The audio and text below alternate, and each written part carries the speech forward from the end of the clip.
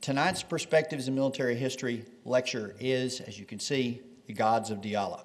Major Gregory M. Tomlin is Assistant Professor of History at the U.S. Military Academy and is a doctoral candidate at the George Washington University, specializing in U.S. Cold War diplomatic history. A distinguished military graduate of the Army ROTC program at the College of William and Mary, he holds master's degrees in history and philosophy from George Washington.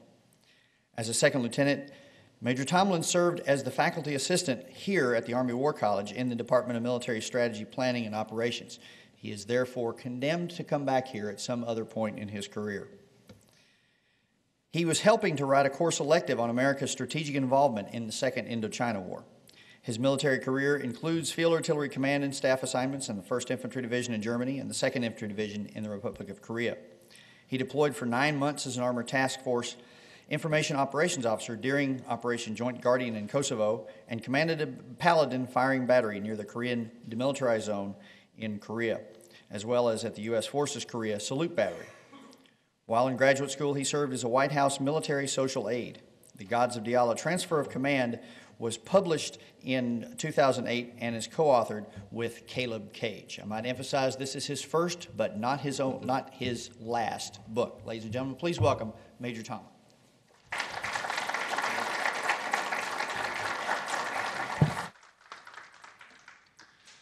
Ladies and gentlemen, thank you this evening for, for coming to join me. It's nice to see a few people from DEMSPO uh, that I haven't seen in a while. As Michael mentioned, I started my Army career here, and it was kind of unusual being a second lieutenant at the Army War College. But I was here during September 11th, and there was a couple things that I will always remember about 9-11 because they happened here in Carlisle. And one of them was that we didn't have a fence around Carlisle Barracks. And there was an order issued by the Department of the Army that every military installation had to have security.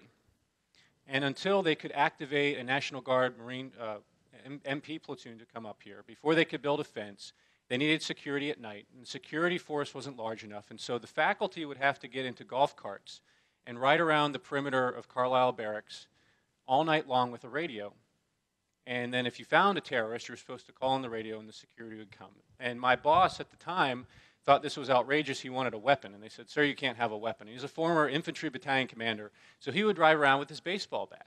And this is a true story. This is the reaction that we had at 9 11. And something that's a little less humorous is that there was a senior group of ministers and generals from the Saudi military who were visiting Carlisle Barracks. They happened to be here on 9 11. And when they grounded all flights, they couldn't go anywhere. And there was a dinner scheduled for them that evening, and they had tempered the dinner from a larger dinner to just a small group of people who were going to the Saudi brigadier who was a student in the class. His home was off post, and they went to his house. And during the dinner, the Carlisle police came to the door. And two of the American Army colonels who were at the dinner asked the police if they could help them, and they said, The neighbors next door reported that the damn Arabs are celebrating next door. And they had to explain that these are our allies. These are people who are already here. They're our guests. But it was that reaction on 9 11 where we're all trying to do something.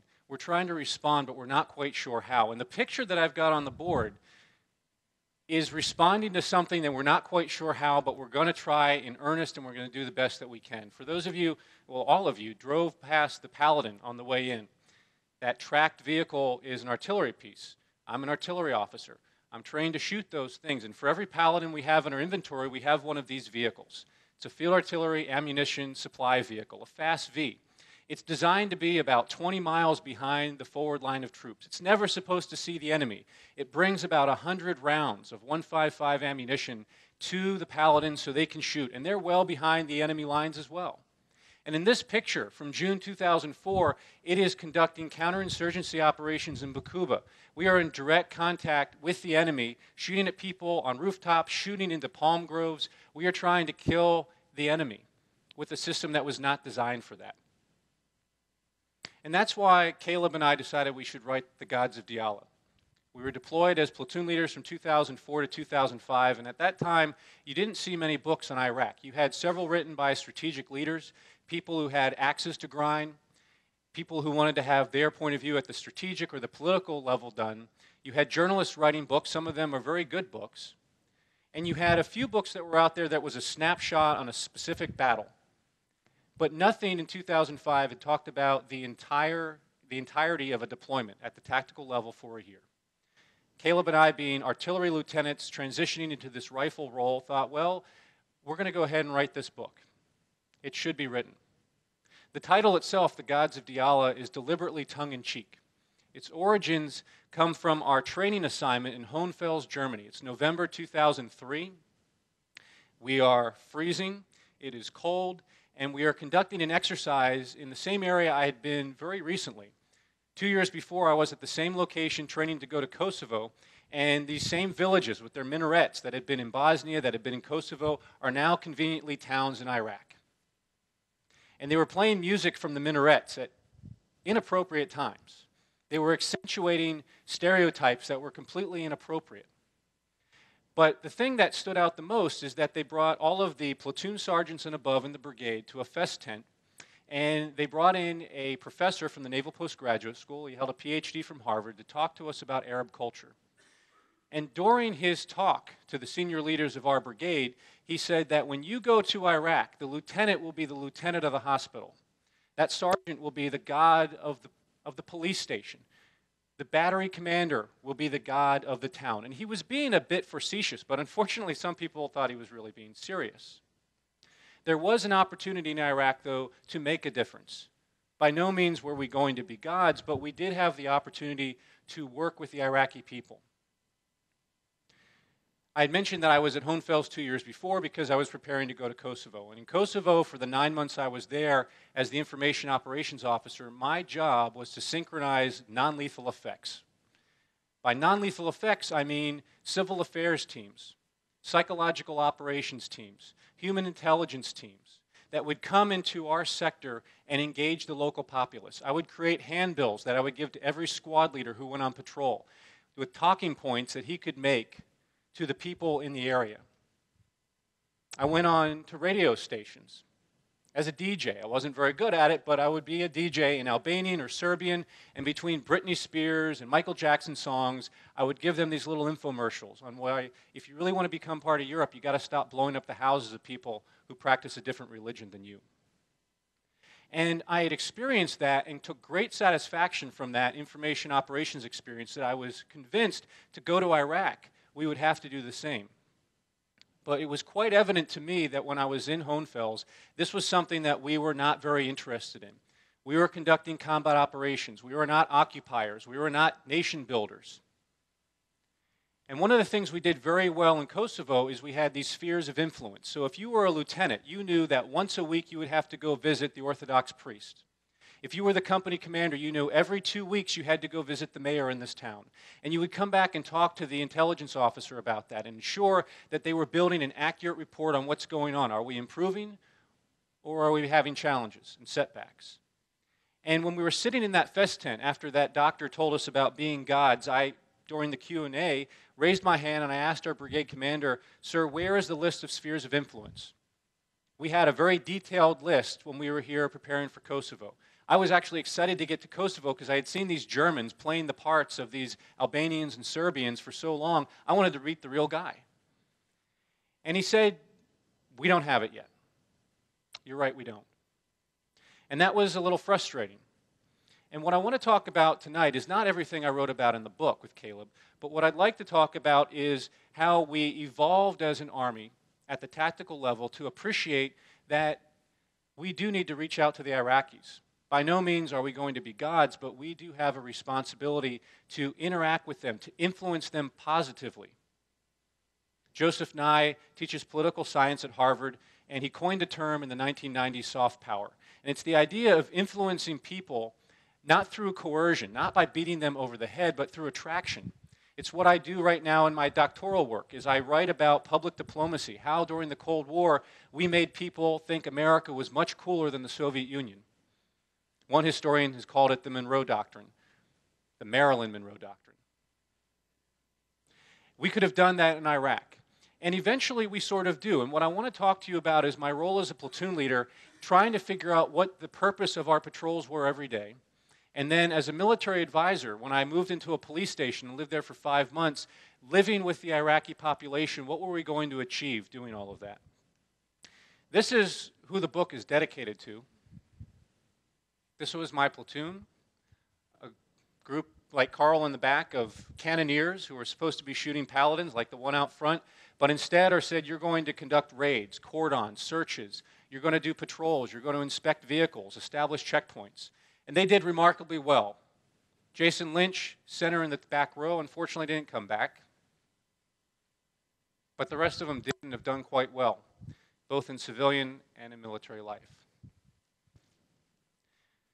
For those of you not terribly familiar with what an artillery battalion does, what I'd like to talk about for just a moment is how we are organized traditionally. Up until 2006, a artillery battalion belonged to this organization called Division Artillery. He was a full colonel, and he said, This artillery unit will help someone, that unit will help another one. And that was your organizational headquarters. You have a battery that provides command and control. You have a service battery that's going to fix things when they break, bring you ammunition, cook you food. And you had two, excuse me, you had three firing batteries with two platoons apiece. Again, these are paladins, these are big guns, that's your focus. This is the unit that I was a platoon leader in. I was in Charlie Battery, I was a platoon leader for one of those two platoons when we received the orders in Germany that you were going to Iraq and you were doing a rifle mission. So, this is our new organizational structure. We are now part of 3rd Brigade, 1st Infantry Division. Since 2006, the Army has actually taken the artillery battalions and embedded them into the maneuver brigades. But at the time, that was something that wasn't traditional. Our headquarters company continued to provide command and control, but when we got to Iraq, those soldiers would also provide security of our camp. They were responsible for ensuring that everything went well. They were ensuring that people didn't come in and the fire support element that's up there, that's not part of our unit, these are the observers. These are the artillerymen trained to look through binoculars and say, here's the target, pick up the radio and call back and say, this is the coordinates that you need to destroy. Those individuals are still working with the maneuver units, the infantry, the armor units. We did not see them. Our service battery continued to provide maintenance, but instead of dealing with heavy tracked vehicles, they did a whole lot of work with our, with our Humvees. Humvees braking in the weather, with all the sand and all the dirt, and of course with all the IED damage that they would get along the way. They also provided us with our food. Our camp did not have kitchens of its own, so once a day they ran a log pack, a logistical mission to bring us food, to bring us mail, and some other odds and ends. And this is the revolutionary thing that was changing the organization of our firing batteries. Alpha Battery was going to stay an artillery battery. He would have guns that we would take with us to Iraq. And when our radars picked up mortar fire, when our radars picked up rockets, their responsibility was to engage the enemy. Now, you can't do that in the middle of the city of Baquba, but we were able to do this in other places, in palm groves, in dead space in between. One of those platoons was not with us. It was sent out to eastern Diyala, the other side of our province, but they were conducting the same mission. Bravo Battery became Bravo Company the, th- the two platoons became three platoons. So you take your 80 soldiers and you reorganize them, and they received this striker platoon. The striker platoon is a group of observers that are kind of like the cavalry scouts. Traditionally, they are out with the brigade reconnaissance team, and their responsibility is to find even more advanced targets that you want to destroy. Well, now they're going to be one of the maneuver platoons that Bravo Company will have. And in my battery, we still had three platoons that were reorganized, but we also had Bradleys we had an infantry platoon embedded in us. Our artillery company commander was the commander for that infantry platoon. Every day that we were in Iraq, they did not roll around in their Bradleys, but when there were missions that required greater defensive or offensive capabilities, they would have those Bradleys available. After Hohenfels and a little bit more training and Christmas break, we flew to Kuwait to the Udairi Ranges. The Udairi Ranges are in the middle of nowhere, Kuwait. And while I was out there, the brigade commander came up to me one day and he said, If Kosovo was college for you, this will be graduate school. And it was very different and certainly very challenging. When you're in Germany and you're a lieutenant and you want to take your soldiers to the range, it is a very tenuous process. You have to be certified by range control. You have to have a plan that you brief to a major, old majors. And then you've got to go to the range, get into a tower, put up a flag.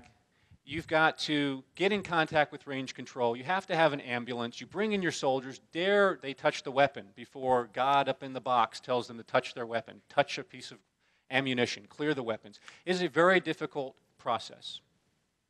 But when you get to Kuwait, it is very different. They say, Lieutenant, you're going to run a range today. And there's going to be a bus to pick you up. And the only reason I know this is a range is that when you drive for an hour in the desert, there are these little targets. And that's your range. There is no range control. There's no threat that you're going to be decertified. The expectation is you run your range. And a range like this, for those of you who were in the Army in the 80s and the 90s, you are very familiar with very traditional ranges. You lay down, you shoot at targets, they're up to 300 meters away. Well, we started with that. But then they brought us in contractors through Blackwater, and their responsibility were to teach us how to engage targets 25 meters away. How do you shoot a rifle with both eyes open? How do you walk and shoot at the same time? How do you kneel and shoot? And the Army at this time started to fundamentally change the way it trained soldiers. Jason Lynch, the soldier who we lost in Iraq, came to us at Christmas right before we left, right out of basic training. He never went to our mission rehearsal exercise. This was his training. And then he was going to be in Baquba, Iraq, shooting live rounds. What the Army has since done is very quickly in basic training, they issue you a gun. And there were a lot of unhappy drill sergeants, as you can imagine, about that. But we had to change that paradigm. We had to get soldiers comfortable with weapons and live ammunition. And when you go to a range, it's okay to hold your weapon, not necessarily up and down range, but you can actually hold your weapon at the ready. And we can give you ammunition early. And we can trust you with that because every day you are going to have this with you as you conduct your operations in Iraq. One of the other things that we are able to do is train in shoot houses. The stack team that goes into a building and conducts a raid, live ammunition, live people in the house, furniture in the house. We were able to train on this, and we did this for about a week. I took this picture from a catwalk. I was able to stand on top and observe my soldiers with live rounds shooting underneath me, something I would never be able to do in combat because, as a platoon leader, my job is to be in the street with a radio, coordinating my local security in addition to the people who go in a house. Where is the team bringing out the prisoners? Are we separating women from children or men from women and children? Are we taking care of people? And that's your role. So I would have the opportunity while we were there to understand what the soldiers do inside and they did some very remarkable training in the short three weeks that we were in the desert. This was followed by our 450 mile drive from Kuwait to Baquba, Iraq. Now, to move, we did not have up armored Humvees. This is 2004. This is the second year of the Iraqi operation, and we had canvas Humvees, and they said, well, you should probably have some sort of protection. So, through Kellogg Brown and Root, the Army contracted cabinet makers from India and they built these beautiful teak cabinets around the backside of our Humvees. And we were told to fill them with sandbags. And as soon as we filled them with sandbags, the motor sergeant said, Well, that will never do. You're going to drive 50 miles and kill your shocks. Get rid of the sandbags. So we drove 450 miles to Baquba with these wonderful boxes on the back that offered no protection but plenty of shrapnel if you were to get hit along the way wooden shrapnel. This is the Diyala province. Diyala is one of the 18 provinces in Iraq. The star represents Baquba. Baquba is the capital of Diyala province. 1.8 million people live in Diyala. 20% of them are Kurds, predominantly they live in the north. 40% of them are Sunni, 35% of them were Shia. You would be surprised the reaction I would get if I asked through my translator someone, what's the percentage of Shias and Sunnis in Baquba or in Diyala? That's inappropriate. You don't ask that question. It didn't matter in 2004 or 2005, whether you were Shia or Sunni. It is something that the insurgency was very successful in exploiting by 2006 with the sectarian violence. But in my view, Iraq was the most secular Arab country in 2004 or before that. Saddam had worked very hard to make religion not important. He allowed more women to go to school than any other country in the Middle East. So things were going to change eventually, but at this time, that wasn't the case. So this is the province that we're going to, and this is the city of Baquba. Baquba had a population of 460,000 people. It means Jacob's house. And if we take back the map, I can show you a little bit more clearly the neighborhoods in this city that would become our home for the next year. Old Baquba, Tahrir, New Baquba, Shifta, Mufrik, Katun, Mualamin, Baritz, Mujima, Huayr. All of these were the suburbs of the city. Some, like Tahrir, Old Baquba, New Baquba, were very developed, broad roads. Other places like Shifta, Mualamin were very much the third world. Some of them looked very biblical. Power lines that ran from generators were extremely low, very great hazards for our Humvees and for our FAASVs when we're driving through the area. But the one thing that was most striking as we drove into the city was it wasn't the desert like Kuwait. In fact, with the Diyala River that runs through the town, you had a great deal of vegetation. They planted a lot of date trees, it used to be one of the top date producers in the world. They also grew oranges there. Uday and Qusay Hussein, in that area around Wader, they had a wonderful stable where they kept their own horses. They had a date plant as well. So this was a lucrative area. It was 30 miles north of Baghdad, and because of its climate and being a mid-sized town, it attracted a large number of government, military, and intelligence officials from the Iraqi government. They settled there either in retirement or their home and family would live there, and they would commute to the city when they were working for the former regime. Task Force 1-6 Field Artillery lived in Fob Gabe. Gabe was a former Republican Guard base just outside the city. It was a massive complex we used a much smaller part of it that we contained and guarded in the middle. And when it came to how we're going to run our operations, we divided the city north and south. Bravo Company was responsible for the north, Charlie Company responsible for the south. 128 man company for every 230,000 people. But we actually had fewer people than that because these two sites that are circled in red, the governor's palace and the civil military operations center, had to be guarded full time. So one of our platoons was always fixed on these sites. We had four weeks where we conducted patrols, and then we spent two weeks guarding the governor, in my case, and in Bravo Company, they guarded the State Department, who was living at the Civil Military Operations Center. This is the city of Baquba, and this is the Diyala River. These palm groves became difficult for us because if you're the enemy, there's only so much you can hide in the towns, but they actually like to hide caches in the woods, in these little jungles. Maybe reminiscent of Vietnam for some of you. But it became problematic, and sometimes we had to do searches there. There would be times that we're on one side of the river, and they would get in a boat and cross to the other. We don't have boats. How do we get to them fast? Can we get in helicopters in time? Challenges that we would have tactically. As you drove into Old Baquba, you were greeted by the Golden Lady. She's presenting you with an orange. It was the symbol of the city and it indicated for you this is a city that's prosperous. This is a city that is simply not sitting in the desert, but we have things that we would like to do. So, this is Fob Gabe. The 41st Armored Brigade of the Republican Guard had its headquarters here well before we arrived. But the Army was disbanded shortly after the occupation began. And that meant anyone could go in there and help themselves anything they wanted. That's great if you're trying to build a home. That's problematic later on when you find these IEDs on the road, these improvised explosive devices blowing up on you. The rounds came from this unoccupied place where they had large depots. When I first arrived, I thought the place had been bombed. I said, When during the war did we bomb this place? They said, You didn't. The locals had come through over the past year and taken every fixture out of the place. As you can see, every window frame, door frame, any cement tile, anything they could take. Occasionally, I would see someone come in with a horse drawn wagon and they would chisel away bricks from buildings and take them with them. Why not?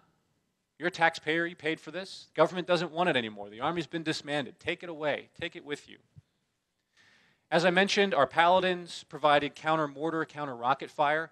They didn't drive around a lot, but this is a Paladin, and these were the, the three that we had that would provide counter mortar fire while three other guns were out in eastern Diyala, and they would provide the same. For those of us in Bravo and Charlie Company, what was our mission? Well, twice a day, we would conduct a patrol. The time and the location of that patrol constantly changed, and we had varying pieces of guidance on what exactly we were supposed to do on these patrols. My battalion commander laughed when I said we're conducting a presence patrol. He said, You're conducting a combat patrol. I said, But what's the combat against? Because in March of 2004, there was not a significant insurgency at that time. When we had done our transfer with the 588th Engineers from the 4th Infantry Division who had been at Fob Gabe before our arrival. They said if the enemy ever shoots at you, it's very rare. They shoot from 300, 500 meters away. They're way off. You really don't have to worry about that. Be a little bit different for us. But when we first started, I said, well, if we're not worried about an enemy, what are we going to do every day? And some of my peers as platoon leaders said, well, what we're going to do is we're going to zip up our windows and we're going to drive as fast as we can through the town, which is a really good thing to do when you've got this much sewage on the streets. Because that means you're pushing that sewage onto a man walking by in his white dishdasha or onto his wife. You're not making a lot of friends. This is a street in Tahrir. And when you drive through that, you've got trash everywhere. You have sewage, the low power lines, cars, lots of people. What are you supposed to do on these patrols? This is the same street right before the transfer of sovereignty, June, 30, uh, June 30th, 2004. The Iraqi transitional government took charge, and right before they, they got all this money, and they said, clean up your streets. And so this is what they did, and it looked really nice for a few months. Those orange trash cans, my squad leaders would joke about. They said they were RPG uh, receptacles. You can just put in your weapons there. It's like an amnesty box. Um, but are we supposed to be out there on the street? Are we supposed to help them clean up their streets? Are we supposed to tell them what they can do with their country if they want to do better? Here is a group of people on a street in Tahrir. Anytime you stopped your Humvee, they would come and talk to you. But you had to get out of your Humvee. And no one was saying you had to do that. So, like I said, some of my peers would drive around for three hours and come back and say, No one shot at us, and mission accomplished. My approach was this we would go out and drive for about 20 minutes, slowly, 20 miles an hour or less, and then we would dismount. And I would take the translator who was with me, and I would find people and talk to them. What are you interested in? What are your concerns? And then we get back in the Humvee and we drive for another 20 minutes and we go somewhere else and we would do this over and over again. Sometimes we were in the busy city, sometimes we were in the suburbs, which were much different suburbs which, like I said, they kind of look biblical. But you'll notice in this picture, there's a satellite dish on a house. People are getting information from Al Jazeera's, from other sources. They're watching a whole lot of soap operas coming out of Egypt. People are engaged, people are informed. And we have the opportunity to inform them because we're on the ground. The, whether, the question is whether we choose to do that or not. In Kosovo, you could not, as a squad leader, go out and come back without talking to the S2. You had to tell them what you saw while you were out there. I went to CRS2. Sometimes he was interested in hearing what I had to say, and sometimes he wasn't. You can also see from the child in the foreground, he's wearing a baseball cap. That is very Western. And many of the children are wearing Western clothing, like this boy with the American flag. Donated from non government organizations. Sometimes we would see, receive these wonderful care packages from people back in Pennsylvania, school supplies things that we could hand out at schools. This was a great way to engage, to influence the local population. The question was, will we do it frequently enough or not? When we were not on patrol, we would guard the governor. Charlie Company's responsibility was the governor's office. He did not sleep there, he worked there. He would commute in every day. But for those of us who were on fixed site security, we would stay there for the two weeks straight. And you can see some plywood on the roof. Those are gun positions. We put them up for shade because our soldiers were up there 24 hours a day. You were on a six hour guard shift in the sun, a little bit of shade, and you were looking to protect the governor. And down the street, Bravo Company was doing the same thing from the Civil Military Operations Center. There was a value to doing this, though. It was a value that I don't know if we intended right away, but it was our interaction with the Iraqi army. No, wait, we didn't have an Iraqi army yet. We had a different name for these individuals who were put in uniforms. They were called the ICDC, Iraqi Civil Defense Corps. And then at about the time of the transition of sovereignty, we started calling them the ING, the Iraqi National Guard. And by December of 2004, they became the IA, the Iraqi Army. So we didn't need an army but eventually it would become an army once again. And we were assigned a squad of these soldiers who would live with us at the police at, at the governor's palace. And every day in this picture, they would do a cordon for the governor as he would leave. Sergeant Douglas decided to join their cordon one day. He asked them, How do you hold your rifle? It's different than the way we hold ours. And he was there, and the governor stopped and smiled and shook his hand on his way out the gate that day. But that's a neat interaction you can have with people. And so when you are engaged with an enemy that will become much more violent, who is going to kill or maim people in your platoons, it is easy to become desensitized and not see Iraqis as people. When you live at this site and you live with Iraqi soldiers, sometimes they become real people again. And that's very valuable because they're sitting on the roof at their own huts. And by the way, if their people did not supply them with wood, then they did not have the shade that our soldiers had over their fixed site location. But you could have conversations with them. We would always feast or famine.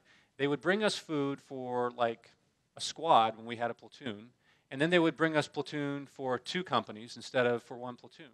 We couldn't eat all of the watermelons or cantaloupes they would bring on the days they remembered to feed us. And so we would give them to the Iraqis. They'd take them back to their families, and they'd bring us gum. Soldiers loved the gum, it was better than the chiclets and the MREs. During the Olympics that summer, I remember Sergeant Borticello taking the television out of our room that we had, putting it outside on a table, tinkering with the antenna so that we could watch the Iraqi game, the soccer game in the Olympics. The Iraqi soldiers came around to watch as well. They brought us tea. Great interaction between the two cultures, very valuable for combat armed soldiers. Well, when we would go back on patrols, one of the major patrol responses we would do is react to one of these improvised explosive devices. A chapter I have in the book on them, I call them the menace beneath, because you couldn't always anticipate where they were. On the 13th of March, 2004, we were getting ready to take over our sector, and Gary Phillips, who was the platoon leader I was replacing, said, Come with me, we're going to go watch. My platoon has a task to cordon an IED. And on a major highway to Baghdad, Highway 2, there was a 155 round prominently sitting next to the curb in the street. It's on a highway, so you've got all of this farmland around you. So you need to get to the southern side of this to isolate that so that no one's going to drive by it when we send out these very expensive robots. So you take your Humvees and you drive in the farmland safely outside the blast radius of a 155 round, and you put two Humvees on the southern end of the highway. And once your cordon is set, the EOD team shows up. They have the remote control robot. It goes down. It lays a package of explosives. It rolls back. We detonate it. Boom, it's done. The only noteworthy part of this entire day was as I sat there, I watched a mentally handicapped man wearing purple snow boots, and he kept probing our defense perimeter. He was completely harmless. A little bit humorous because you're sitting out there in 100 degree heat watching this go on. But it seemed like the textbook case. You could write this in a field manual. This is going to be easy. Well, on the 25th of March, one week after my battalion took control of our sector, second platoon in our company, went out on another IED clearing operation. There was a round prominently sitting in the road. They went out there, established security. People dismounted their Humvees. Specialist Adam Froehlich took a knee. There was a pile of trash next to him, but the piles of trash are ubiquitous, they're everywhere. Well, underneath that pile of trash was another IED, a secondary device, and that mortar killed him. They had seen our tactics, they had seen how we responded, and so they adapted to us. We would extend our perimeter to 100 meters. We'd go back to 75. We would alternate. We would try our best to deal with them, but it was always the menace beneath. It was always something very difficult, very challenging to deal with. One way we could deal with this was if we could get the Iraqis to call 112. 112 is their equivalent of 911. It's something that the Americans had set up for them. And if they could call the police station and say, hey, there is a truck in front of my house and it's four in the morning and the guy's digging a hole. That's something helpful. That is useful knowledge. But to convince these people to do this, you have to have effective information operations. You have to effectively influence your adversaries as well as your potential adversaries and the people whom you're trying to build up. You've got to get them to trust their own security forces. Why don't you call the police? Well, I'm afraid that someone at the police station is really an insurgent he will come and kill me and my family. Why does he think that? Because the insurgency had much better propaganda than we did. And they were throwing leaflets over people's houses all the time, especially the closer we got to the elections in January of 2005. They were racking it up. And they were doing a much more effective job of engaging the population than we were. It was deterring them from doing the right thing, which was letting us know because they didn't only kill us, they killed Iraqi policemen who would go out there and try to disassemble these bombs on their own. They would kill Iraqi soldiers, they would kill civilian bystanders. It didn't matter. We had to get them invested and believe that this was something important for them. On only two occasions did I escort a psychological operations team out in sector. That large box on top of the Humvee is a group of speakers. This is a PSYOP team, a speaker team that has the ability to project up to two kilometers away. But more importantly, is when that PSYOP team would get out of the vehicle and they would give out handbills or colorful magazines and they would gauge the local population. In Kosovo, every Thursday we knew that Požaran had market day. And on market day, particularly in the spring, the soldiers loved to go to market day because they could watch all the Albanian women walking around. But more importantly, the PSYOP team went there because they could hand out these Albanian and Serbian magazines. You have hundreds of people around you, you can engage them quickly. We weren't doing something effectively like that in a city much bigger than Požaran, Kosovo. This was an initiative I took on my own when I would sit at lunch with my platoon leaders and with battalion staff officers and say, you know, in Kosovo, we had these SOIs, these spheres of influence, and they worked really well. I started doing this on my own. I walked into a school in Tahrir, and this was a slide that I pulled out of my files that I had given to our S2, that I had given to my battery commander.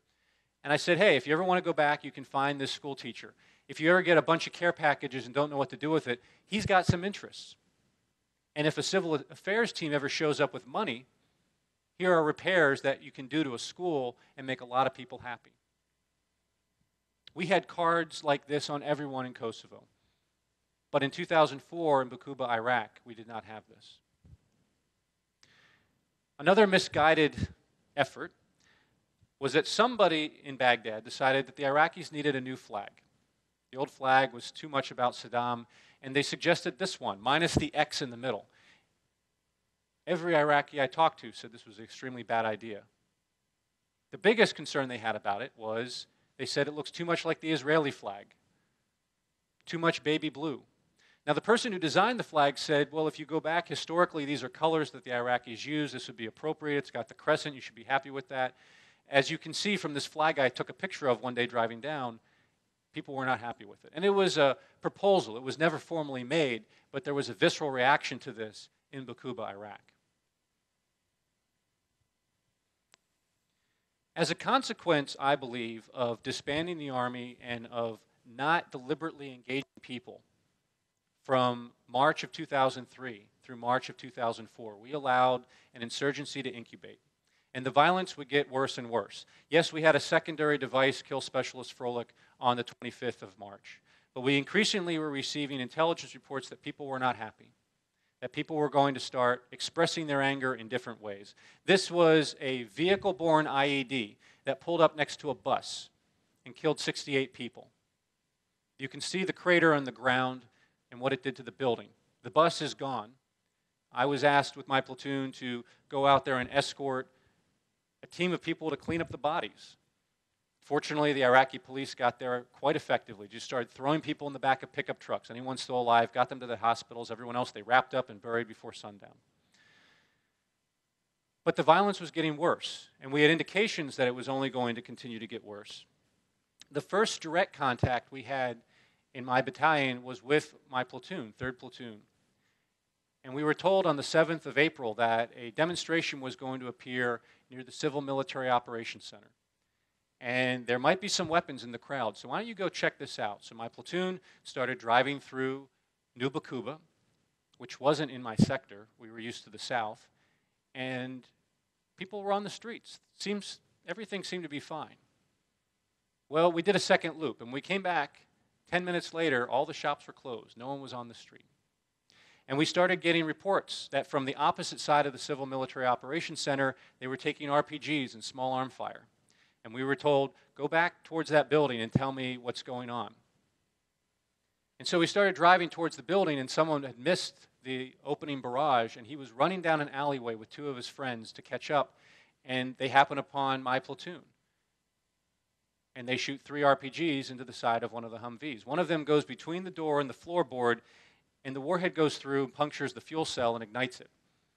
The Humvee is a catastrophic loss. We can't move until we take this Humvee.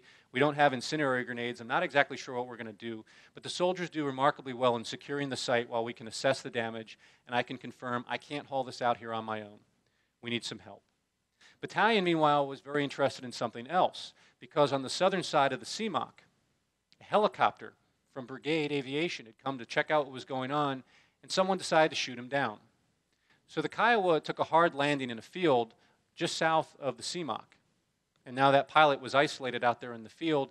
My platoon was immobile, so they sent another platoon out to secure the crash site. Eventually, we got some support and we were able to haul out our Humvee.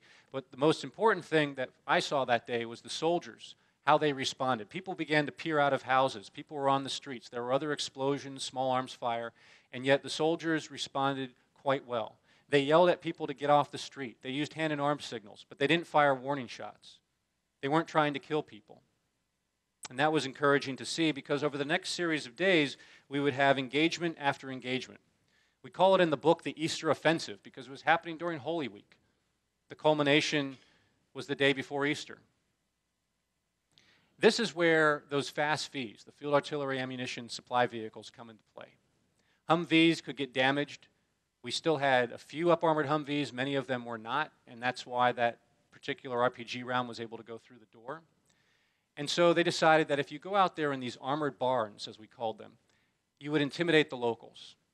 Well, the problem with these FAASVs is they're nothing like a Bradley. A Bradley fighting vehicle has a ramp that falls down in the back, sights where the soldiers inside can see and they can figure out a little bit what's going on. The turret swivels. There's effective communications and you have those guns and thermal sights. And none of those things we had when we rolled out the gate at midnight on April 9th. And we started driving around, and we certainly found a lot of attention that night.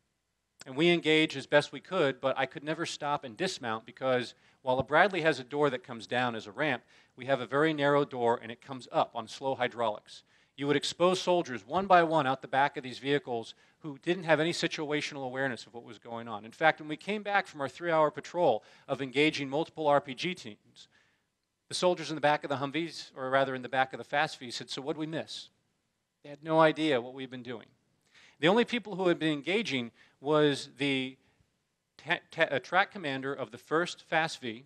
I was in a Humvee because I had to have two radios, and the FAASVs don't have two radios. So my gunner and the people were all shooting out the sides. And then we have two FAASVs behind us, and again, it's just their gunners. It's hard to maximize fires, it's hard to communicate. We didn't do very well. We might have killed some people, but you're supposed to go clear buildings. You're supposed to go find where the enemy was. And we were greatly limited in our ability to do that. Well, that afternoon, there were reports that even more people were upset, and more people would be on the street. So why don't you try this again? Maybe in daylight with the FAASVs, you'll do a better job. And so at 1 o'clock on the 9th of April, we drove outside of our building, or out of our fob, and we drive by a mosque. And there are hundreds of men outside on the street. And I don't know what they're saying from the speaker, but the man sounds very violent, very angry. And the reason I don't know what he's saying is all of the translators had shown up sick that day. It was a phenomenon. The night before any major engagement, all of our translators showed up sick. They just didn't show up. So I don't know what they're saying. It doesn't sound good. It's certainly unusual to have 200 men laying prostrate on the ground outside a mosque. And so we drive by another mosque and we see something very similar to that. No one's shooting at us, so we're not going to shoot back. They're praying, so we're not going to tell them they need to go home. We go back to the fob, and as soon as we get there, we have reports that multiple RPGs and small arms fire and mortars are engaging the provincial police headquarters, the Civil Military Operations Center, and the governor's palace we are told to go back and engage the enemy. And this time, as we drive by the same city we had just been through, people in black outfits, pajamas essentially, are hanging out of windows who weren't there 20 minutes earlier. We drive by the stadium, and I can see the man in the eyes shooting at us as we shoot back. And we drive to the Civil Military Operations Center, and someone inside is calling for a fire mission. He wants to shoot artillery into the city because there's that many people in the city. Battalion says, We're not going to do that but they give me a task. They say there's a condensed number of people that are shooting out of this small palm grove that's adjacent to the governor's mansion. We want you to go over there and engage them as best you can. Now, one of the guns that we carried on our FAASVs was the Mark 19. It's an automatic grenade launcher. And what we're effectively able to do is lob these grenades into the field. And someone who's sitting in the police station on the roof is telling us, turn right, turn left, slow down, you've got it, up, down. And they were our observer. We're kind of shooting artillery. And we were able to kill the enemy that were engaging two of those sites. Meanwhile, in the police station, where they have 300 prisoners, they lit their mattresses on fire and they were creating a riot. This was well synchronized, it was across the whole city. I had run out of ammunition and was called back to post to get a resupply and to take ammunition to these fixed sites. So, for the first time, our ammunition vehicles were used to transport ammunition. We filled them to the brim. We went out to the fixed sites. Enemy wanted to engage us on the way. I said, Our job is to get this ammunition out. We're not going to stop to engage them. We continued, but behind us was our Bradley platoon. Punisher platoon was in the Bradleys this time, and they started finding pockets of the enemy. And as they continued traveling around, they found the enemy leading them to Buhriz, that small suburb of Baquba that is to the south. That's rather isolated. It's around the palm groves. There's only one road in from the north, one road in from the south. And Punisher Platoon starts engaging enemy size elements are squad size. Every time he dismounts and tries to flank them, they counterflank him. And the fighting gets very difficult that day. Specialist Allen Vandayburg is going to die. But he's not going to die because someone shot him. Someone shot at an, RPG at a transformer on a telephone pole, and the transformer fell down like shrapnel and cut into his abdomen, and he bled to death. The fighting would go on until 6 o'clock because they ran out of ammunition and had to come home. Staff Sergeant Raymond Bittenberger would receive the first Silver Star in the 1st Infantry Division since Vietnam for the fighting that day. So it was very different from the situation in Baquba when we had taken control over it in mid March, just a month earlier. Easter Sunday, go out on patrol again. Quiet. Turns out the reason it was quiet on the 11th of April is that the Imam said, Oh, that's the Christian's holy day, so why don't you give him a day of rest? Polite. This is a street in Buhriz, the village to the south which really became the most festering problem that we had. This would become a battalion sized area of operation for future OIF battalions and units that would come in. Sometimes this became a brigade sized operational clearing operation after 2007. Buhriz, because of its isolation, one road in north, one road in south, made it a great haven for the criminals and insurgents. And it was also great because they could move into the palm groves, they could cross the river, and they could hide a variety of things. In late May, I was asked to take a human intelligence team into Buhriz, and they were going to listen to a mosque. And they were going to see what the imam wanted to talk about. And I said, you know, if we stay more than an hour, they will shoot at us. And said, well, we'll see how long the sermon is that day. And sure enough, like clockwork, at an hour, they started engaging us. We had a fierce firefight. We left the city when we ran out of ammunition. We came back with Apaches overhead, two tanks, and several Bradleys. The enemy had evaporated. They had gone back into the city. How do you deal with this? The only way you can deal with this is a clearing operation. And so the battalion and the brigade staff decided that what we need is Operation Smackdown. The next time that someone engages U.S. forces in Buhriz, we will make this a battalion size operation, and we will engage and then we will clear street by street if necessary to find where this enemy is. In mid March, Punisher Platoon came in the southern route and they went into the palm groves and they found people scurrying like mad, crossing the river. They started engaging them with small arms fire. Then someone lobbed a grenade over to the enemy side of the river. And like fireworks on the 4th of July, there was this great amount of pyrotechnics. They had hit a cache of enemy supplies. We knew they were keeping some of it over there. On June 16th, I was tasked to take our company commander to meet with the mayor of Buhriz and have a conversation. This would spark Operation Smackdown because at 55 minutes, as I looked at my watch, they started shooting at us. We had outlived our welcome. And so the battery commander got back in his Humvee and we drove out of town. And we spent the entire evening in a planning session. A National Guard Bradley company was attached to us we were to go back into Buhriz the next day. Punisher platoon and my platoon was given the orders to dismount in Buhriz and go about a quarter of a mile through a labyrinth like this in the dark to find a guy named Hussein Ali Septi. He was a financier.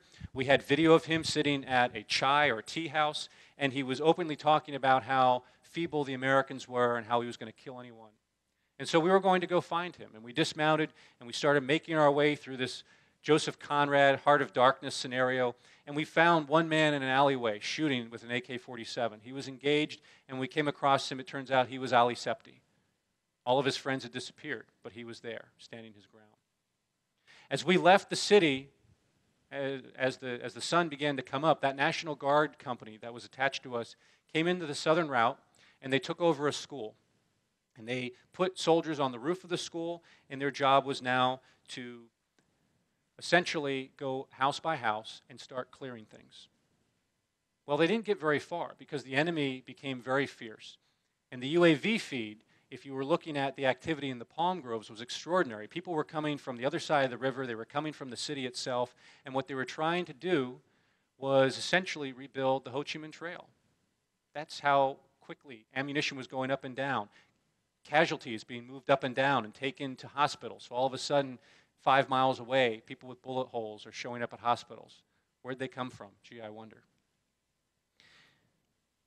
Colonel Bullimore, our battalion commander, said, I never thought we'd shoot artillery in the city, and I certainly never sh- thought that we would call the Air Force in. But this is a building that we bombed that day. Operation Smackdown was a much larger operation. Those Bradleys were struggling in southern Buhriz to maintain the peace. We had people that in the north started building hard sites. My platoon was supposed to go out on another mission. And as we drove down a road, we were told to stop and come back. And they called in a fighter to bomb this building because they were building VBIEDs in the back. And when the other people came into the building, they found armor piercing ammunition. And they found a lot more um, RPKs, these intermediate machine guns, than we had seen in some time. But they were destroyed before we went through. And the mission that we had was to go to Buhriz ourselves. We were going to go to the northern side. Those National Guardsmen had been fighting for a long time in the south. They'd been there for 24 hours. We were now going to do the same mission, but from the north. And there was an agricultural building. We were to take the roof. My platoon was to secure the roof, another platoon secured the perimeter. We had two tanks and two Bradleys, and once everything calmed down, we were supposed to go door to door. We never got door to door. The fighting continued to be fierce. We took mortar rounds on the roof. We had counter sniper operations. The tanks would go in level buildings. The Bradleys would go out and engage targets. And we did this till the next morning. We were not making many friends, and we were unable to go door to door. The idea originally with Operation Smackdown is about 24 hours into this, the people are going to give up. We're going to bring in the CA teams. We're going to have them do a variety of things that never came to fruition. It was during this operation where Jason Lynch was killed. He was down on a gun and he was shot again below where our protective uh, vest was. An ambulance was sent down to our position to pick him up. An IED detonated and destroyed the ambulance along the way. So we put him in one of the Bradleys that was there and tried to get him back to the, uh, not to our fob, but to the brigade fob north of the city. And unfortunately, he bled out before we were able to get there. This is the sort of information that when you receive it on the radio as a platoon leader, you have to ask yourself, do I share this with the soldiers in the middle of the mission or not? We made the decision, no, I'm not going to tell anyone. We continued fighting this mission, and we got home that night. It was about 4 in the morning, and people were patting themselves on the back for making it through this extraordinary day. And that's when you let them know the information. And it takes a little while to sink in because the missions keep going and going. Operation Smackdown should have been worse. It should have kept going. But our brigade commander met with the governor and the mayor of Baquba, and he said, if you do not tell these people to stop this, we are essentially going to have to level this place. Our clearing operation will be much harder. And so they stopped. Miraculously, there was a ceasefire the next day. We didn't have to keep fighting. But part of the expectation to prevent from having to do another Operation Smackdown is to have the Iraqi police and the Iraqi army provide that security so that people are not in the palm groves building caches and doing other things that are inappropriate. Now, if you're in a Bradley, and this is TJ Grider, he's on the cover of our book, TJ's driving around with his platoon. He's got this wonderful Bradley fighting vehicle. Lots of protection, lots of firepower. This is me and my Humvee crew. We got a 50 caliber machine gun. By about the third month, we start to get up armored Humvees. We carried 300% of our ammunition that you're supposed to get. You're issued so much ammunition, we always carried 300% of that ammunition. This is the Iraqi National Guard. A pickup truck from Mitsubishi, a flak vest donated by a police department in the United States, two clips of ammunition for your AK 47. No thermals, no night vision devices, no helmets. But what we want is for you to go in the town and conduct the same raids that we would never think about doing without backup support, 300% ammunition, flak vests, bulletproof vests, all the accoutrements that are so important to keeping our soldiers safe in Afghanistan and Iraq are not something that we have with these individuals. That's a hard thing. It's a hard group of people to motivate to get to do the right thing, to stay on a fixed site, to guard bridges, to guard polling stations as we approach the elections. And it was up to these two gentlemen to motivate those. On the left, we have Governor Abdullah, governor of the province. No one elected him, it's part of the transitional government. And then we have Major General Waleed, who is the chief of police. He's wearing a Fresno, California Department of Police hat because they flew him back for a few weeks to see how an American police station worked. Their police have the same rank structure as our military, and he was responsible for the entire province. I got to know each of these individuals fairly intimately. The governor, of course, had his office where I provided security. The first time I met him, I was absolutely shocked. He spoke English with almost a Cockney accent. He was a dentist from Manchester, but when they were looking for people to come and help rebuild Iraq, he said, Sure, I'll come home. Where was the old governor? Where are the other people that were involved? Well, that government had been disbanded because they were all Baathists. And if you were Baathist, you could not run our country anymore. We needed new people. So we have a dentist who's our, our governor, and General Waleed. And in September of 2004, I had to leave my platoon. The Army was promoting me to captain, and I really didn't think there was anything I could do which would be as meaningful as be a platoon leader. But I found out that there's something that is more important than that, and that is being an advisor. My battalion commander sent me to the police station, the Diyala Provincial Headquarters, where we had the Joint Coordination Center. And the man sitting with me is Brigadier General Tassin. General Tassin used to be a general in the Republican Guard. But we disbanded the Army. But everyone who understood something about synchronization of assets, planning, execution, happens to be someone who graduated from their staff college. That's what the red tab on his epaulette delineates. And we would hire these people back to work in places like the Joint Coordination Center in Baquba and around Iraq. This is the police station. It looked a lot more hospitable when I first arrived. It had windows in the front, it had a whole lot less bullet holes, but every month it seemed they would add more, more brick. They would take out the windows on the second floor, then the first floor, and then on the left you can see they actually reinforced the wall with about three layers of brick.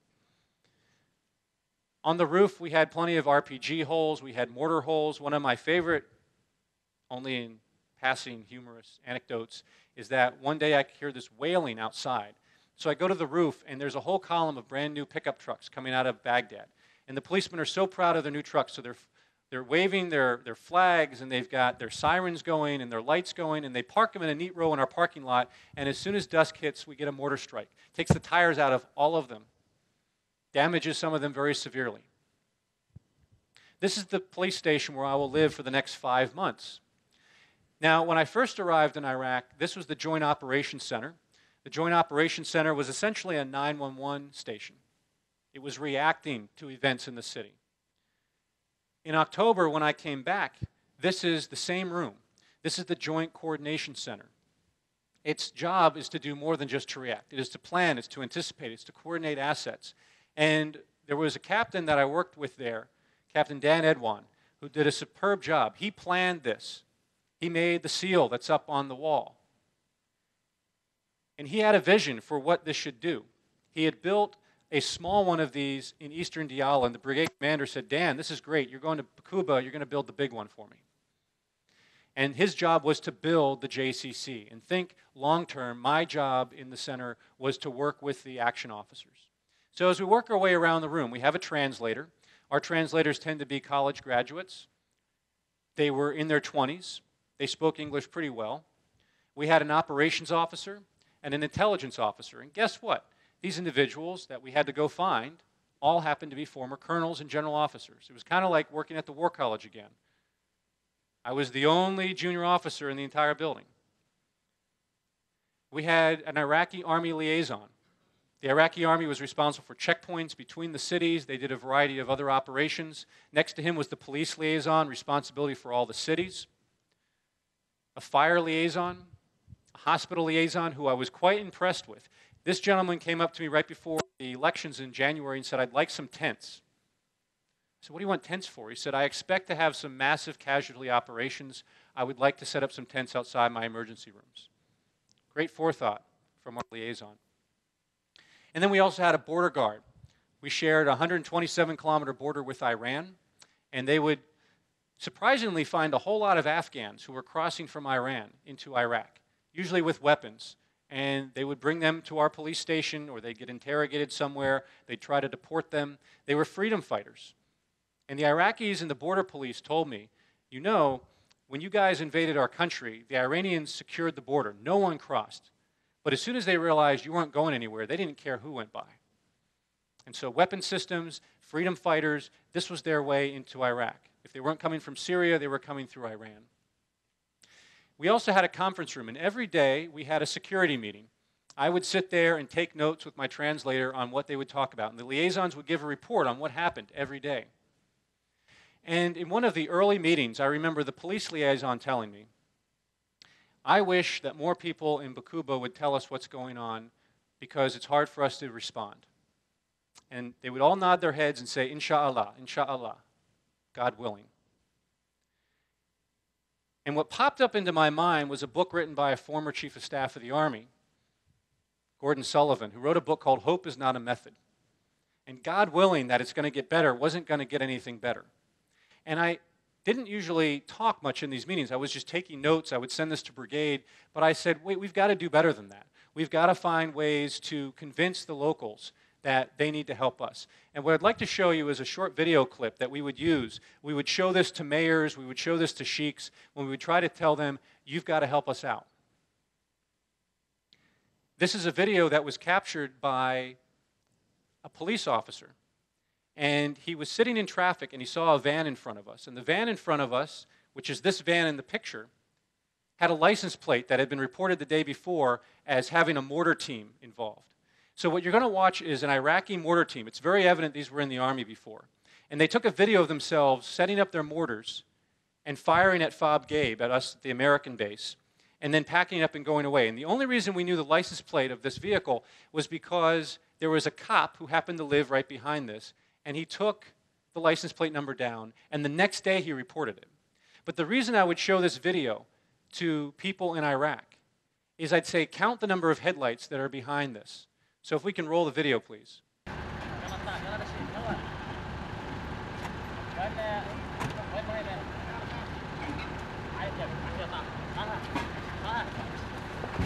This is in the heart of Baquba, the suburb of Tahrir.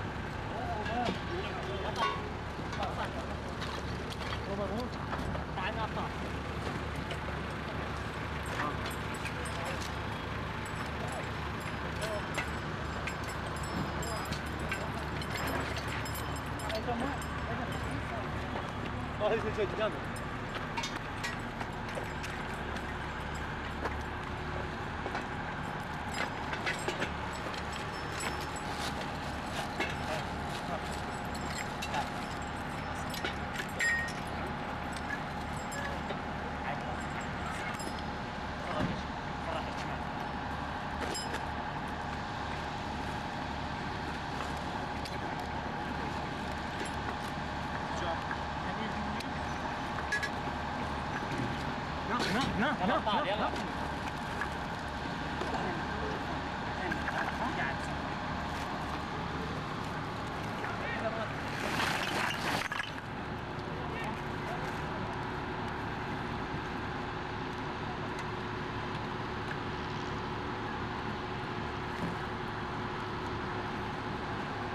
طال عليك يا كنت تستعجل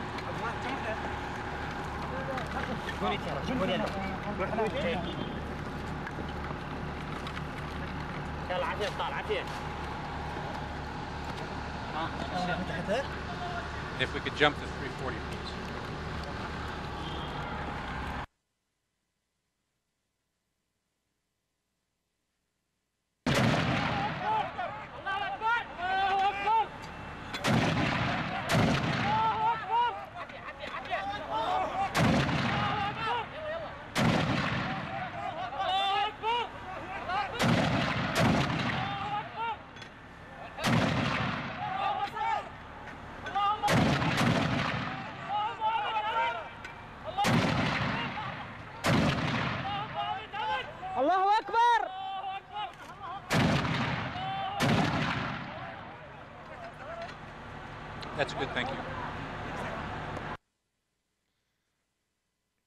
So they know what they're doing. They have a man with a machine gun who moves forward to provide security. Their faces are masked. Someone works the base plate. Someone lays out the projectiles. The guy with the lighters working the gunner's sight. And they're screaming, Allahu Akbar, as they shoot this. And dozens of cars drive by behind them. And so, what I would tell these Iraqi leaders who would come into the police station, I would show them this on our television screen, that same television screen. I'd say, if they called the police station, if they called 112, how would they know which one of those cars made that call? Oh, maybe their threats are empty after all. That's the sort of trust that the police had to build. And over the months that I lived there, that's what I tried to communicate with these police officers as well as the former Iraqi officers who were running the JCC. Nothing became more important, though, for the last two months that I was there than preparing for the national elections. Diyala province was supposed to have 254 polling sites for the first national elections in over 30 years. The hardest thing to do was to find the commissioner of the IECI, the Independent Election Commission in Iraq, and get him to come to the JCC. He believed he needed to be independent. He was a lawyer, and he did not want to talk to us. We finally got him into the police station and said, Look, when you come in the gate, no one has an idea whether you're talking to Americans or you're talking to Iraqis, and we really prefer that you talk to the Iraqis here in the JCC but you need to start thinking of some things. He says, No, no, no. It's okay. I have a colonel from the police. He's attached to us. We're going to do the security. And Dan Edwan and I sat down with him and said, Security, you have 254 polling sites. Where are they all? Well, they're schools. Do you know where they are? Uh, well, we'll figure that out. You have two months. We have 60 days to figure this out. And we started asking them logistical questions. How many policemen will you need at every school? How many barriers will you put in front of the roads? If the road is wider, will you need more barriers? And he said, he didn't speak English, but he said in English, to be or not to be? To be or not to be? I said, Hamlet. He says, yes, good, yes, good. And he said, time. I need time. And then he went back into Arabic through his translator saying, We are new to this. Democracy is something we haven't done before. You need to be patient with us. And we said, We'll be patient with you, but we need to help you. This is a meeting that we had where a lot of people started getting involved. We had the Election Commission involved, we had the State Department involved. Sherman Granby is the man standing at the table. He works for the State Department. He was very interested in providing help. The Army, the U.S. Army, was going to provide exterior support, but a whole lot of planning help along the way. Dan Edwan built a new JCC next door. This is not a telebank for PBS. This is something where we're going to put a whole lot of liaisons from all over the province to track the security during the elections. The wall is metallic. They could put little magnets on the walls, they could track things as it went on. The vine of ivy is something that General Tassin added on his own. I walked in one morning, he's there with scotch tape. This is beautiful. Yes, Captain? I said, Yes, sir, it's very beautiful. But they were energized about this, and we worked with them through this process. This slide will make your head hurt, but the thing I want to point out to it is 170 we help them figure out which polling sites they can consolidate. If you've got two of them, but they're within 300 meters of each other, let's consolidate them. Let's put them together. Maybe you have two different entrances, but we help them build this. The engineers from our brigade were involved, talking to them about what they could do to provide that security and what sort of barriers they might need to in place. Two days before the elections, we went up to the brigade headquarters, which was at an old helicopter airbase. And what they did is set up this giant sand table. And we did a rehearsal. Every police chief in the province was there, and he would stand up with his counterpart, whether that was a company commander or a battalion commander from the U.S. Army, and they would say, These are my polling sites. This is the number of policemen I will have. This is how I will transport ballots from one place to another.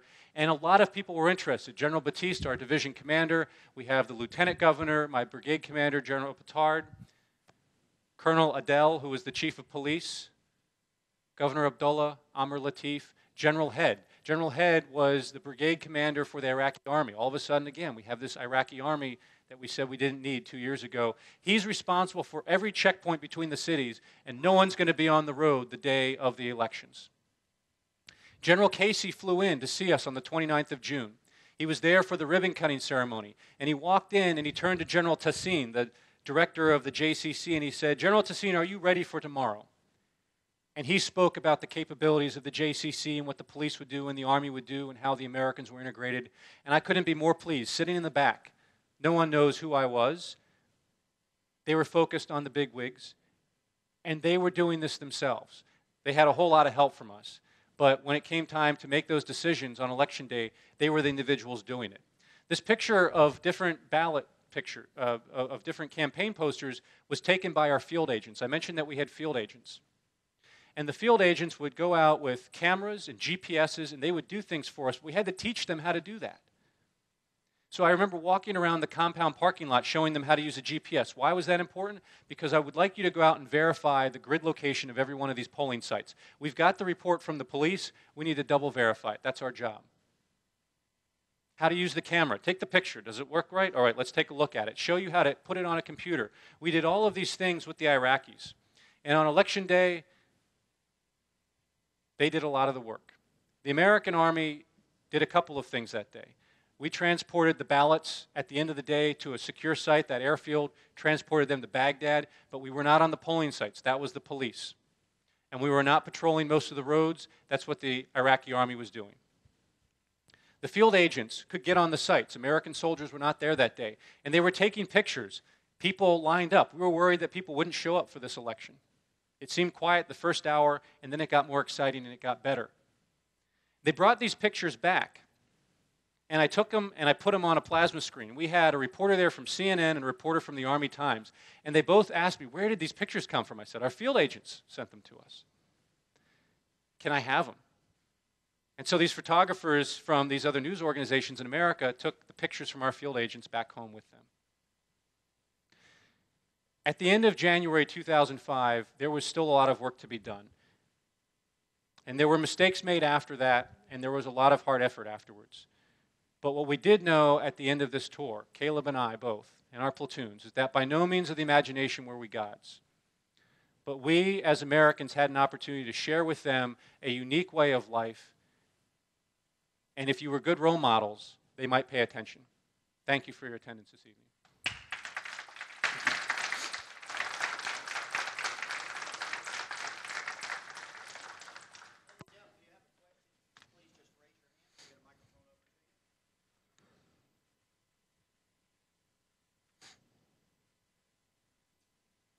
Microphone, hold it about here so we can all hear you.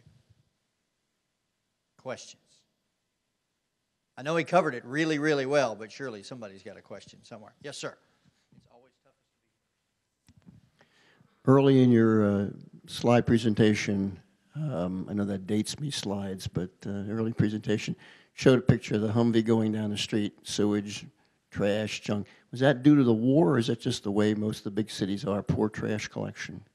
That was the way it had become because this was March, or that was late March when I took that picture of 2004. It had been a year since they really had services within that city. So, was there as much trash on the road if you were there in 2002? Probably not, because you had a functional government. That was something that was absent at that time. It allowed the trash to collect. There were plumbing issues. A lot of places still didn't have sewage. It would just flow onto the streets. That was natural. But the amount of trash that was there was indicative of what happens when you take away the infrastructure in the provincial government. That's why at Fob Gabe, everything was removed by the locals. No one was there to say no. No one's going to find you if you take trash and just dump it outside. You don't want it right in your home, and no one's coming to pick up the trash because we don't have government services. Put it in that median in the road. Yes, sir, over here.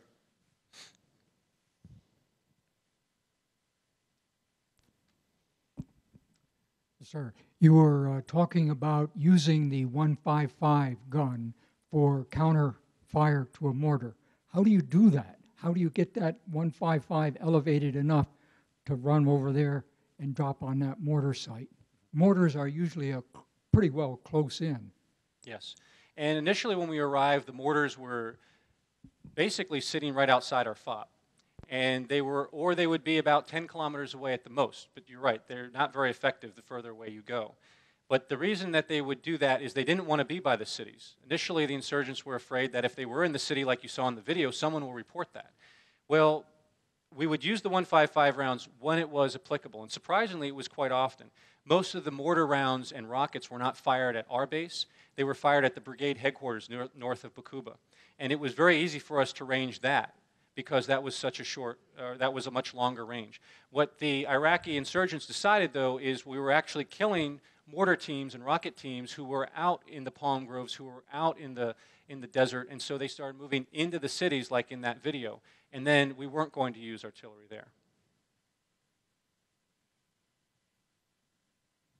Yes, sir. Question?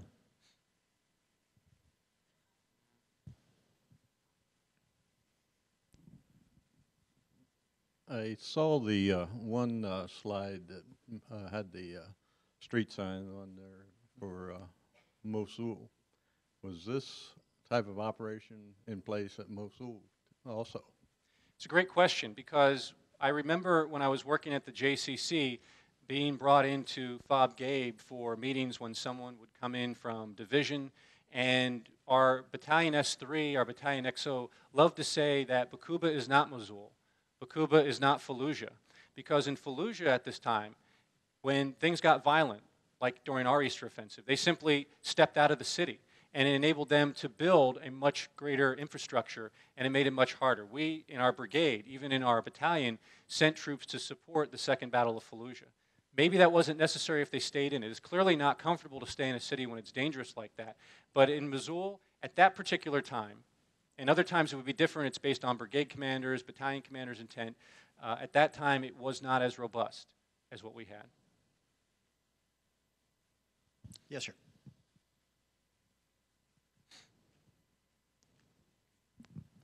Thank you for talking us through the modification made to the organic structure to make it suitable for this mission. My question is, when you returned uh, to the United States, did you revert to your original configuration, or did you remain tailored for combat? In our particular case, we returned to Germany and we're told we were, in, we're inactivating. First Infantry Division would reflag within a year and go back to the United States. So in our case, we spent four months with nothing really to do other than turn in equipment and prepare to come home. But the question you ask is very important because for a lot of units, once we started to increase with the surge and take Afghanistan more seriously, you knew that when you came back from Iraq, you were going back to Iraq within a year. And so the sort of training that you would do would be training that was similar, built on the lessons you learned. You would have new commanders come in, new soldiers, new NCOs, but they had come from other units that had also been deployed.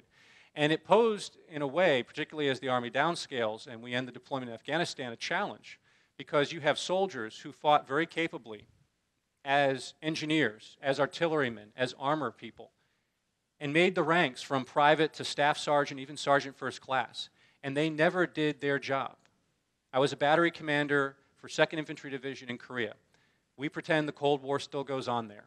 And everything we do is about paladins supporting maneuver forces. And that is the conventional artillery mission. I would have section chiefs come to me and they hadn't been on a gun since they left basic training or the advanced individual training. Smart NCOs, but they had as much to learn as our specialists did or our privates first class. And it's a challenge that the Army will have, but for those people who were going continuously back to Iraq and Afghanistan, they were served much better by continuing to focus on that unconventional mission. Time for one more? as a platoon leader, of course, you knew a great deal about the Army from your perspective. What was your assessment at that time of, of the field grade officers in battalion, the operations officer, executive officer, and your battalion commander? Not to personalize it, but did, did you find that the transition that you were forced to make and have been ordered to make and you know, your adaptations, did they understand the extent of the challenges or how were they dealing with that? having been up until then cold warriors? I think a great deal of it was reactionary as well. And it was reactionary at the brigade and clearly at the division level.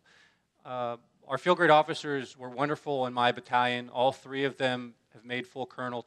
Two of them commanded brigades. Uh, our brigade commander, he's a division commander right now. So these are capable officers and they've learned to adapt. But they were learning a great deal. What was most frustrating for me is that in the case of a lot of the senior leadership, they were allowed to stay for a third year in command for continuity purposes. It just happened that they were about to change command as we were deploying to Iraq. And we had so much institutional knowledge from, from Kosovo on what to use. And I expected to see that again. And when I didn't see it there, it was evident to me that was because that wasn't the division focus. That wasn't the core focus. And when you read accounts of what was happening in Baghdad at the time, um, you see that it took them some time to accept that this is the mission that we were supposed to do. Yes, sir. Greg, if you could just step up here, we got something for you. Step there in front of the podium. Come on over here. Still on stage for a second. Well, Major Tomlin, we ask each of our, our historians, our speakers who uh, join us here in the Perspective series to enlighten us a little bit about what the life was like for soldiers during the period on which they are experts. And every once in a while, we have an opportunity to speak to somebody who is both a historian and a veteran. And I think what you have done is you've given us all a much greater understanding of uh, the war that we've been experiencing at various uh, distances for the last uh, 10 or 11 years. We really appreciate the opportunity to learn a little bit about that part of the war from your experience, at least the, the Diyala part of the war in 2004. And uh, we wish you the best and thank you very much for joining us. Thank you, sir. Thank you. This is a um, reduced copy of the poster that we use to, uh, to uh, advertise your lecture, and we uh, present that to you on behalf of our director, Colonel Matt Dawson, who unfortunately can't join us tonight. He's TDY uh, down in the Badlands of D.C. But uh, from us and all the staff of the Army Heritage Education Center, we really appreciate it. You have also uh, offered us a unique opportunity. Um, I've been associated with this series for about 10 years now, and I've never had a speaker who brought his mom to the lecture. It's really, really great. And on her behalf, I'd like to thank you for telling her what you were doing during that period of time because she related to dinner how, how, how few times you called home. So